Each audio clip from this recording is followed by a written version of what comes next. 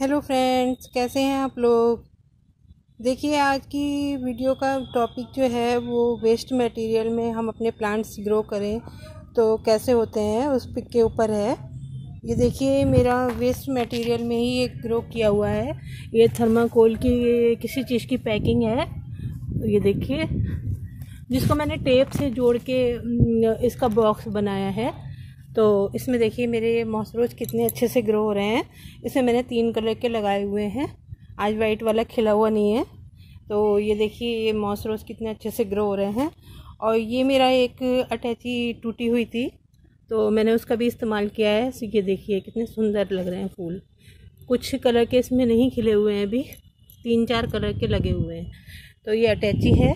और इसका ये दूसरा पार्ट जो है, इसमें मेरी रेन लिली लगी हुई है। अटैची के ही दूसरे पार्ट में। ये देखिए, रेन लिली का कितना खूबसूरत फूल है।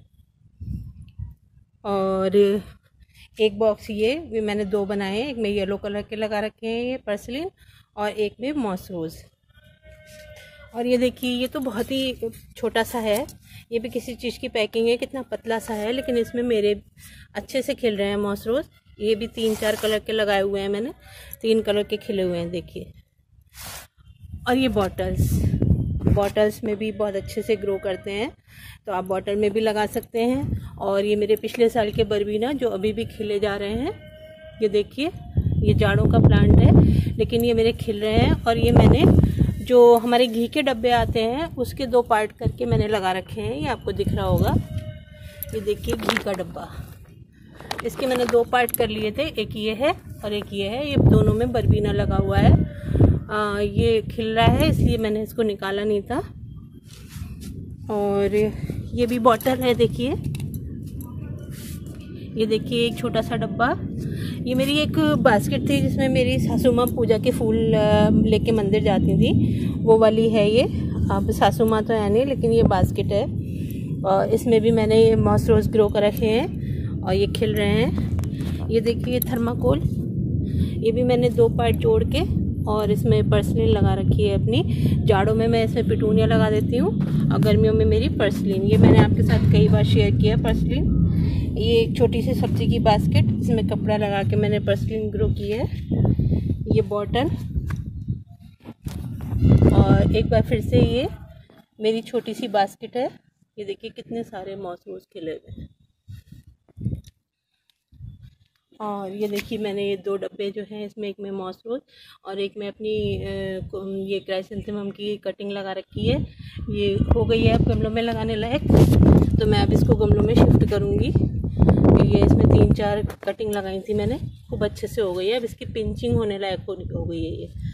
तो ये भी इस डब्बे में लगी है। एक बार फिर से ये थर्माकोल आप भी अपने इस तरीके से ग्रो कर सकते हैं।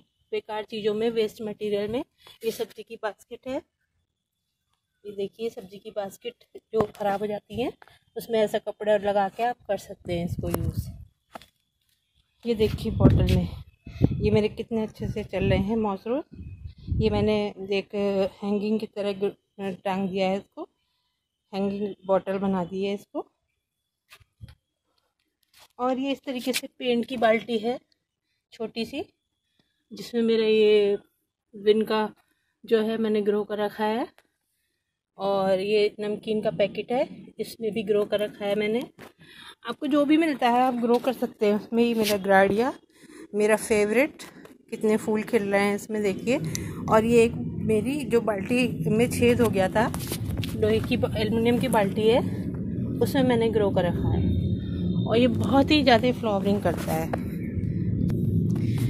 ये देखिए मेरी वॉशिंग मशीन की पैकिंग है ये, जो उसकी बॉटम में लग के आई थी। तो मैंने इसमें अपनी कैल्शियम की कटिंग ग्रो करी हुई है। ये देखिए, सब ग्रो हो गई हैं। और ये मेरी पिटूनिया की मैक्सिकन पिटूनिया की कटिंग फ्लावरिंग किए जा रही है। और ये इतनी सी मिट्टी में लगी हुई है, जरा सी मिट्टी है इसमें। और ये कितने अच्छे से इसमें, देखिए, कितनी सारी बर्ड्स आई हुई हैं। और कितना सुंदर फ्लावर है इसका पिटूनिया का। और ये देखिए मेरी अपराजिता, ये टाइट के पैकिंग में है, बैग में, और कितने अच्छे से चल रही है, देखिए। कितने फ्लावर आ रहे हैं इसमें। तो ऐसा नहीं है कि पॉट नहीं है आपके पास तो आप अपना प्लांट ग्रो नहीं कर सकते। ये देखिए मेरी लिली, ये बाल्टी में और बैग में। ये एक बार फिर बाल्टी।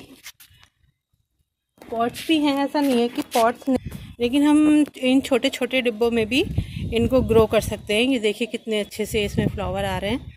ये छोटे छोटे से डब्बा, ये देखिए, जो हम लोगों के ऑनलाइन हम लोग सब्ज़ी और मिठाई वगैरह मंगाते हैं तो उसमें हम ग्रो कर सकते हैं। ये देखिए ये देखिए एक टीन का बॉक्स था मेरे पास तो मैंने उसका भी यूज़ किया है। तो हम इस तरीके की चीज़ें जो हैं हम गार्डनर्स को बहुत सारे प्लांटर्स की ज़रूरत होती है तो इस तरीके की चीज़ें भी हम लोग यूज़ कर सकते हैं। ये देखिए मेरी टर्टल वाइन कितने अच्छे से चल रही है। ये मेरा जो करवा चौथ वाला करवा होता है, मुझे कुछ नहीं मिला तो मैंने उसमें ग्रो कर दी थी। और ये देखिए कितने अच्छे से मेरी टर्टल वाइन चल रही है। और ये मेरी चांदनी का, जो मैंने आपको दिखाया था, खूब सारी फ्लावरिंग कर रहा है। बहुत प्यारा लग रहा है। और ये भी एक मेरी एलुमिनियम की बाल्टी में ही ग्रो किया हुआ है। और ये मेरा सनफ्लावर ये लंबा बहुत हो गया है तो इसलिए मैंने इसको एक बाँस के सहारे रोक रखा है। और ये देखिए मेरी, ये वाली, ये भी बाल्टी में है। ये कैनल लिली है, इसमें भी फ्लावरिंग नहीं हो रही है। और ये मेरा गुलजुआ का पौधा है। ये देखिए कितने अच्छे से चल रहा है।